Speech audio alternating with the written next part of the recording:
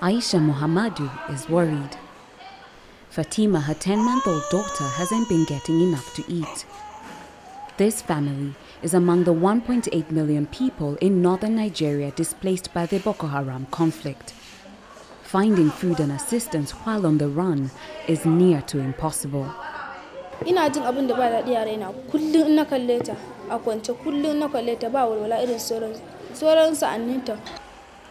The UN warns that 75,000 children could die from hunger over the next year.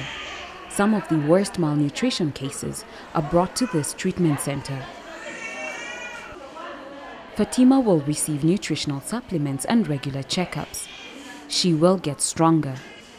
Most people are still too scared to return to their homes and farms, so hunger will persist amongst the people here.